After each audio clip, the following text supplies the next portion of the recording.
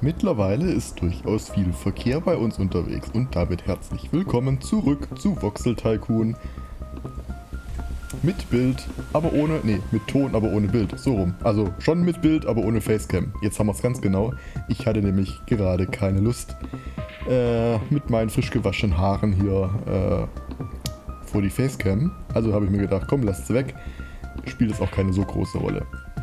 So, und wir sind eigentlich mittendrin, naja, im Geld verdienen. Wir haben mittlerweile schon wieder fast eine Million. Diesmal sieht man es auch. Ich habe beim letzten Mal, glaube ich, meine Facecam genau über dem Geld gehabt. Aber ist ja auch normalerweise nicht so wichtig beim Zugucken. Hauptsache ich sehe, wie viel Geld wir haben. Ich muss ja entscheiden, was wir als nächstes bauen können und was nicht. So. Wir waren dabei, wir waren dabei gewesen, hier den Ringschluss zu machen. Für den Fall, dass wir da hinten noch was anliefern müssen. Ist im Moment, glaube ich, noch nicht ganz so wichtig, beziehungsweise wenn wir den Sand irgendwie nach da oben bringen, was noch nicht wirklich der Fall ist. Und hier will auch keiner Sand, hier wollen sie Sand. Aber da bringen wir ja gerade Sand hin. So, wo ich äh, das Level gerade geladen hatte, kam Meldung, dass Tex Arcana jetzt, äh, wie hieß es? City-Status hat und auch gleich noch Stein akzeptiert. Wir haben also unseren ersten Ruf nach Stein dem wollen wir doch auch eigentlich gleich nachkommen. Es wird nur ein bisschen kompliziert. Äh, nicht den Stein ranzuholen, sondern tatsächlich den Sch das Stein und die, die, den Stein unter die Leute zu bringen. Denn wir haben hier im Prinzip so gut wie keinen Platz mehr, irgendwas hinzubauen. Ich muss jetzt mal suchen. Also man könnte das so machen, so quasi Hinterhofmentalität, aber arg viel andere Möglichkeiten sehe ich hier nicht. Da haben wir, Entschuldigung, da haben wir noch 93 Prozent Profit. Da sind sogar nur 89, also wird schwierig. Ich meine, wir könnten das wirklich hier hinbauen. Ja. Komm, was soll's. Machen wir. Tex Arcana East. Überhaupt East. Wo ist der Norden? Ich glaube, wir haben hier gar keinen Norden, Süden, Westen, Osten. Also ist das ein bisschen schwierig. Wenn das da Osten ist, dann machen wir, drehen wir mal die Kamera mal so. Jetzt sind voll alle verwirrt, jetzt bin ich selbst verwirrt. Ich drehe die wieder... Ich drehe die wieder so. So gehört's. Ähm, Oneda akzeptiert mir Holzplanken. Das ist schön. Gut, also. Es ist nur die Frage, wie kriegen... Ach so. Texarkana hat ja so gar keinen Bahnhof. Das müssten wir quasi hier abliefern und dann per LKW dahin karten. Das ist ja auch doof. Und ich habe hier auch nicht wirklich Platz, einen Bahnhof für Texarkana zu bauen.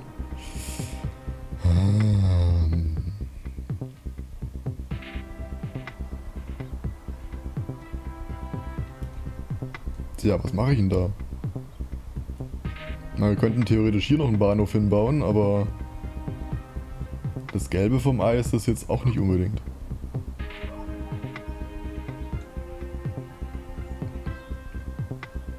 Ich meine, wir könnten, um das jetzt mal vorsichtig zu formulieren, drauf scheißen, dass die da Stein wollen und uns erstmal um anderes kümmern. Ich gehe mal davon aus, dass Texarkana auch weiter wächst, auch wenn sie keinen Stein bekommen. Hier ist ja in Hawaii alles in Ordnung. Hawaii wird übrigens sehr angekratzt, was die Hauptstadtmentalität hier angeht. Wir haben hier 1040 und Texarkana 1011. Also ist vielleicht gar nicht mal so schlecht, dass wir Texarkana ein bisschen im Stich lassen. Dann ist unsere Nummer 1 Position von Hawaii nicht angegriffen. Ich weiß gar nicht, warum ich Hawaii so verteidige, aber ich, ich fände das cool. Das ist unsere Gründerstadt, unsere erste Stadt. Ich finde, die soll auch Hauptstadt bleiben und für eine Hauptstadt gehört es, dass sie die meisten Einwohner hat. Auch wenn es genug Beispiele in der Welt gibt, wo das nicht der Fall ist, aber ähm, egal. Ja, gut, dann ist trotzdem die Frage, was kostet uns denn das hier? 1,2 Millionen. Ich hatte ja vermu vermutet, ne nicht vermutet, äh, rum überlegt, was wir als nächstes kaufen. Ob wir uns jetzt hier die nächste Eisenerzmine sichern oder ob wir nicht dann doch auf Kupfer gehen. So, und dann, wo ich das jetzt gerade sehe mit Kupfer. Ich habe äh, die Tage mal wieder an meinem privaten Spielstand rumgespielt. Und dabei habe ich etwas entdeckt, was ich jetzt auch direkt sagen muss, weil das klingt sonst blöd, wenn ich das dann irgendwann ganz überrascht feststelle. Ich habe mir mal angeschaut, was man hier alles noch so entwickeln kann. Und wenn man dann hier so schaut, da gibt es dann hier zum Beispiel Kupferschmelzen und so weiter. Dann gibt es, wenn man hier weitergeht in dem Baum, Elektronikproduktion, Elektronikproduktion 2, Electronic Devices Production, Computing Devices und dann steht da folgender Satz. Erfinde den ersten Computer, um das Spiel zu gewinnen. Das hat mich etwas sehr verdutzt. Also dieses Spiel hat tatsächlich ein Ziel. Das war mir oh so erstmal gar nicht klar. Also ich sag jetzt mal, bei Transport Tycoon war es entweder das Ziel, seine Konkurrenten platt zu machen oder halt einfach bis zum Jahr 2050 quasi liquide zu sein, also das einfach nur zu erreichen. Im Prinzip quasi Open End Spiel, ähm, mit dem einzigen Ziel halt Geld zu verdienen. Aber dieses Spiel scheint tatsächlich ein Spielziel zu haben. Und ich weiß auch ehrlich gesagt nicht, was passiert, wenn wir dann den, diese Computertechnologie erfunden haben. Kommt dann hier groß, sie haben gewonnen und das ist dann vorbei oder... Puh. Gut, ich meine, es wird ein bisschen dauern. Man hat ja gesehen, wie viele Stufen dazwischen liegen und ich weiß nicht, was das alles an Geld und Materialien kostet, aber trotzdem. Ich bin, ich war etwas, äh, war ich da, huh.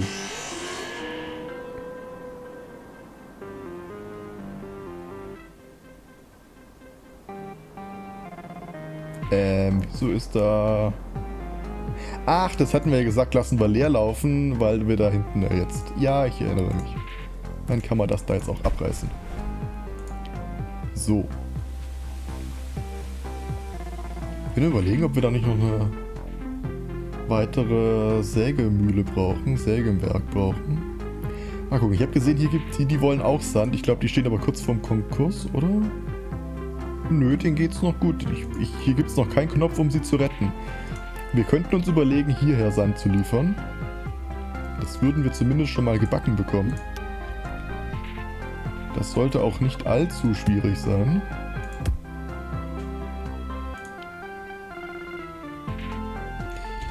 Ähm, ja.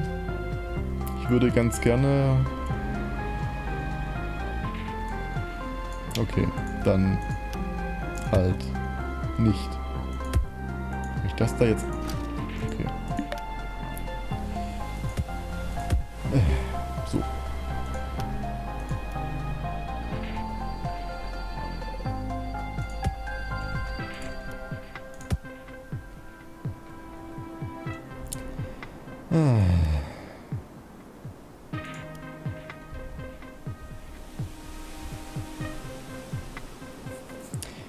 Warum?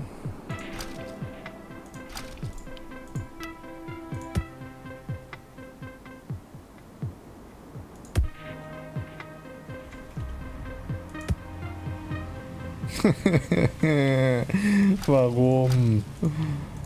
Warum kann dieser blöde Bahnhof? Warum habe ich den so gebaut? Warum möchte ich noch einen Voxel weiter nach...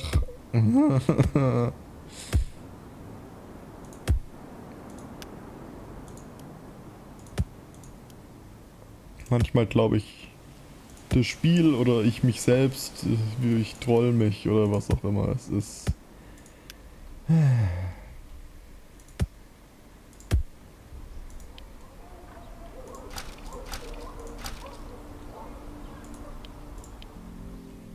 Gut. So. Dann, wo kommen wir eigentlich mit unserem Sand? Wir kommen von da unten.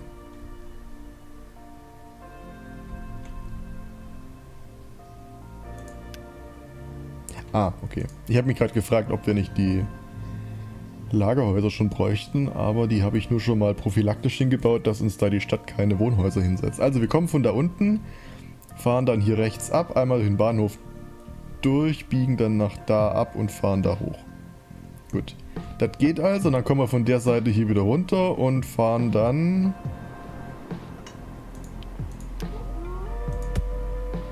Nein, nicht den. Äh, fahren dann hier geradeaus drüber.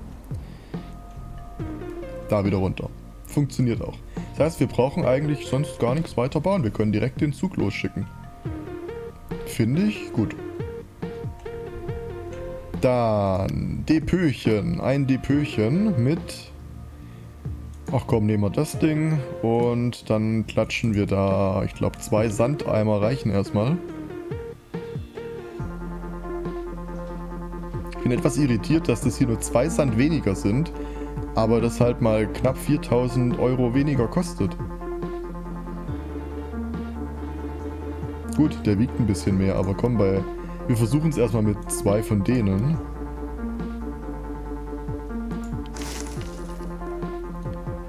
So, und dann brauchen wir jetzt hier, äh, was war da oben? Haynes war das, glaube ich. Haynes Sandanlieferung. So, Full Load dort und normales Unload dort. So, man kann ja eigentlich schon los. Dann brauchen wir noch schnell, bevor der hier ankommt, ein Lagerhaus.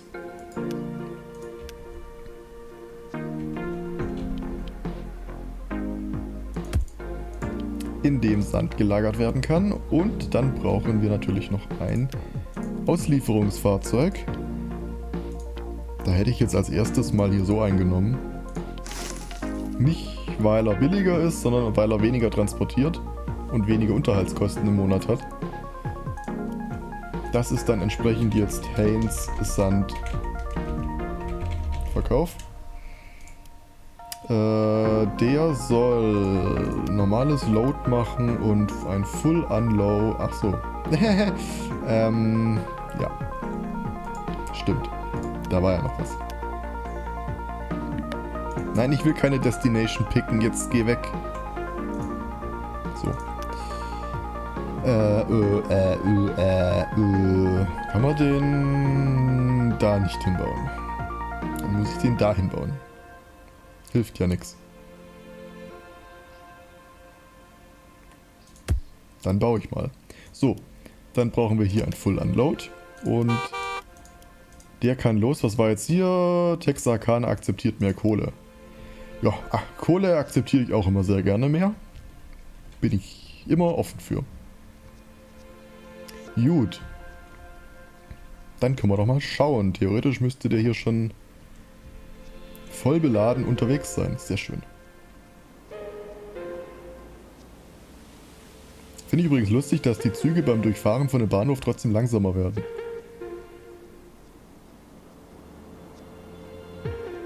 Hä? Achso, Saving. Ich denke gerade. Es ist ja so abrupt an der äh, Ampel, wollte ich gerade sagen, im Signal stehen geblieben. So, ich nehme auch auf. Ich nehme auf, tatsächlich. Wäre jetzt nach 13 Minuten auch blöd, wenn ich jetzt feststellen würde, dass ich nicht aufnehme.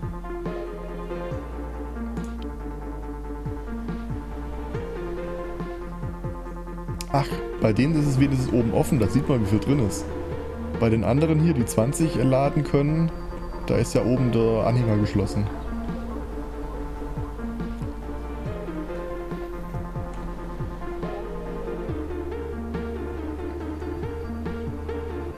So, wir fahren einfach mal mit.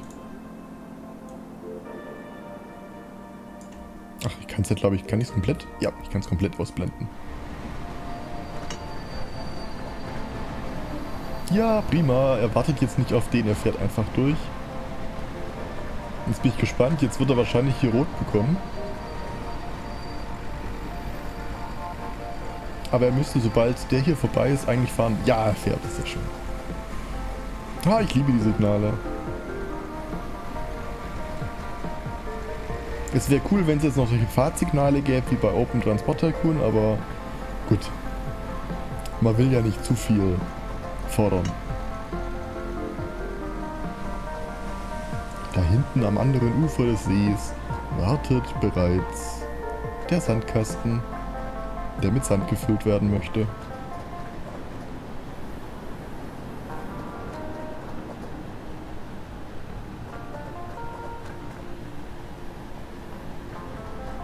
Uah.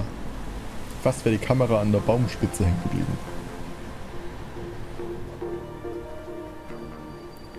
So. Da sind wir.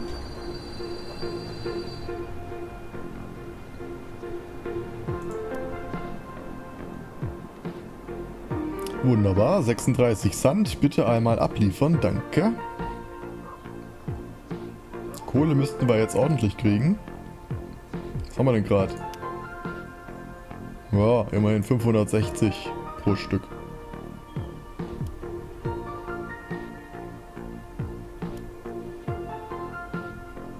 Will nichts sagen, aber die KI ist an der Stelle echt ein bisschen doof. Ich muss dir mal eben helfen. So ist es doch irgendwie besser.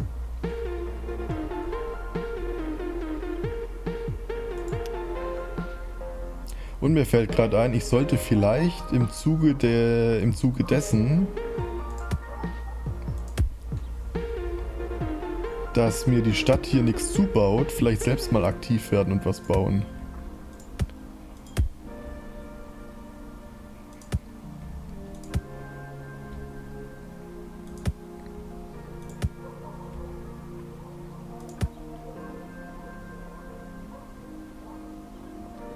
Hm.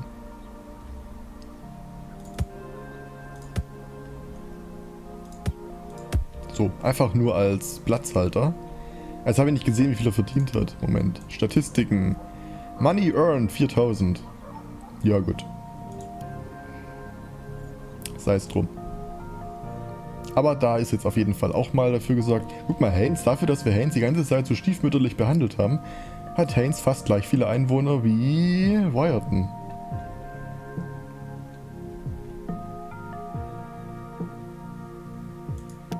So, die wollen immer noch sehr viel mehr Eisenerz, wie wir ihnen bringen.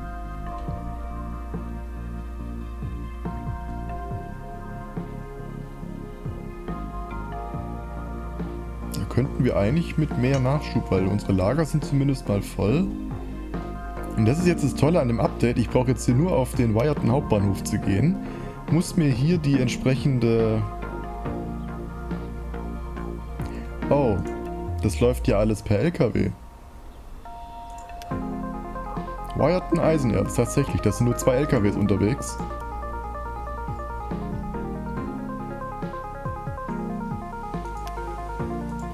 Aber wenn das so ist, machen wir einen dritten. Das soll ja nur wirklich nicht unser Problem sein. Ach so, und Hawaii wird wahrscheinlich dann auch per LKW gerade. Ja, natürlich. Ich würde echt gerne wissen, was das mit Hawaii ist. Das, so langsam sieht es eher aus wie ein Tannenbaum. Wyerton entwickelt sich mehr so flächig. Schon auch ein bisschen länglich, aber Hawaii besteht ja quasi nur aus Querstraßen. Naja. Die werden schon wissen, wie sie bauen. Ich will ja hier nicht noch einen auf äh, Bürgermeister machen. Außer ich wäre natürlich Bürgermeister von Donnerstadt. Ich gebe die Hoffnung nicht auf, dass ich mich in irgendeiner Stadt mal wiederfinde. Oh, warte mal, die wollen ja hier mehr, als sie eigentlich kriegen.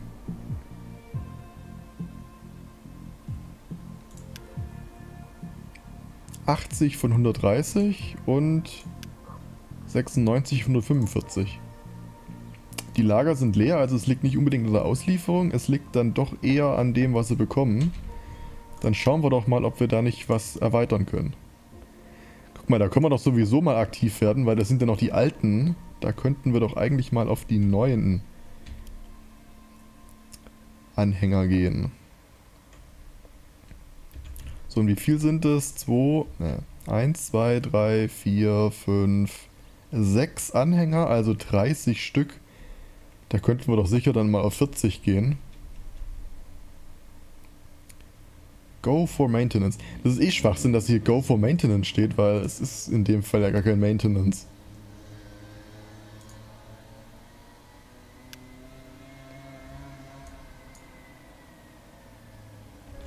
So.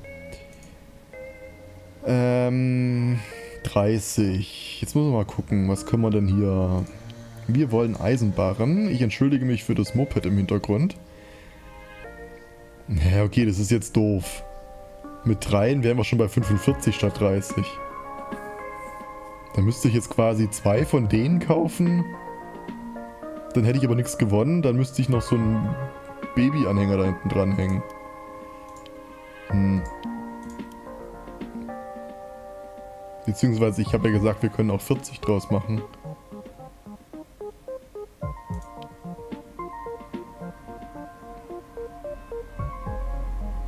Ist halt ein bisschen doof, weil die, die Lok könnte ja eigentlich schneller als die 80. Aber wir sind durch die hier halt... Äh, wobei auf der anderen Seite, wenn die dann schneller kann, ist die ja öfter da. Das heißt, wir, wir hätten auch eine Steigerung. Guck mal, jetzt fährt die quasi statt 80, 95. Das wären dann also quasi eine Steigerung der Geschwindigkeit um äh, knapp 20%.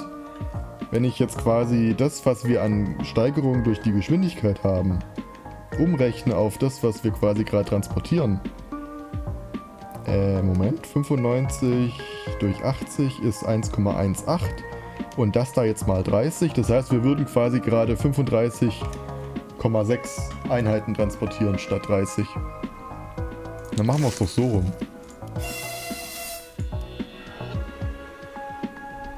Muss ja nicht immer nur alles an der Anhängeranzahl an, äh, abhängen, man kann ja auch an der Geschwindigkeit drehen. So, und bei dir sieht es im Prinzip gleich aus. Äh, 1, 2, 3, 4, 5, 6. Gleiches Spiel in grün. Ne, nicht ganz. Das sind 6 mal 8. Das sind 48, die wir da hochtransportieren. Da könnten wir sicherlich auch auf 50 oder so gehen. Mal gucken, was wir da in Auswahl haben. Ich verstehe noch immer nicht, warum die Züge einfach stehen bleiben, statt einfach weiterzufahren oder dann einfach wirklich ins Depot zu fahren, weil das ist irgendwie doof. Wenn ich jetzt dem hier sage, geh ins Depot, dann blockiert er mir den gesamten Bahnhof. Das ist irgendwie... Ich, ich verstehe da die Denkweise nicht ganz. Aber gut. Darf ja jeder machen, wie er will. Da haben wir jetzt 20. Das heißt, 20 und 20 sind 40. Ich entschuldige mich für die Pferde im Hintergrund.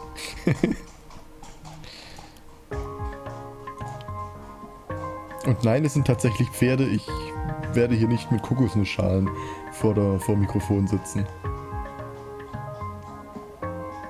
Ich meine, auch da ist es so, wenn wir da jetzt quasi 18% oben drauf hauen. Äh, was wäre denn 40 mal 1,18? Das wäre, naja, dann würden wir weniger transportieren, als wir gerade transportieren. Das ist auch doof. Also wenn ich jetzt hier nur die zwei lösche, dann wären wir bei 48, wären wir bei 56 statt 48. Das wären dann halt 8 mehr.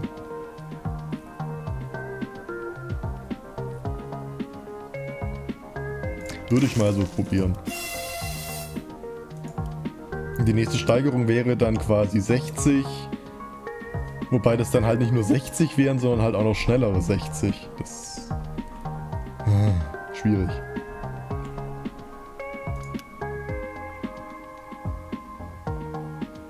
So, aber du, du scheinst hier zu viel zu transportieren.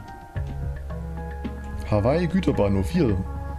Der legt, der versucht mehr abzulegen, als abtransportiert wird. Das können wir mal gucken. Hier sind wir noch nicht am Limit. Wir könnten also auch mehr abtransportieren. Dann schauen wir doch mal. Äh, Holzbalkenverteilung. Ist übrigens falsch, das müsste Holzbalkenverkauf heißen. Ist aber nur einer mit 11. Da könnten wir theoretisch ja noch sagen, wir...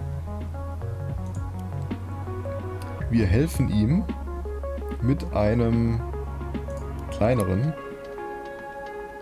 Weil es halt auch doof ist. Ähm, die sind ja auch langsamer. Das heißt, hinter denen ist dann quasi immer Stau, das ist ja auch doof. Dann machen wir das lieber anders. Ja, ich möchte abbrechen, dann klone ich den hier halt. Dann fahren die halt häufiger mal leer rum. Was soll's.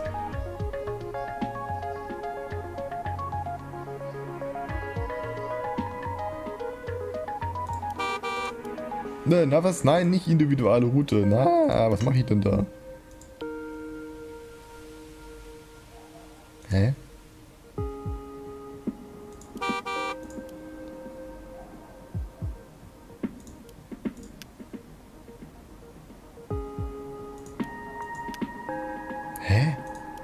Das ist ein Bug. Ich glaube, ich habe gerade einen Bug gefunden. Ah ja, okay. Okay, wenn man das Fenster offen hat und ein neues Fahrzeug zu der Route hinzufügt, landest du trotzdem mit individueller Route. Das ist natürlich falsch. Das hat mich jetzt gerade verwirrt. Okay, alles klar. Alles klar.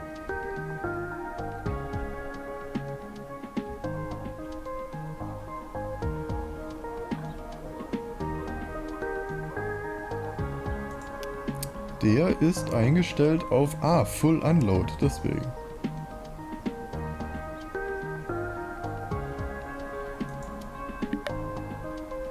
Okay, das ist natürlich doof. Kann der? Der kann theoretisch aber auch mehr Kohle verkraften.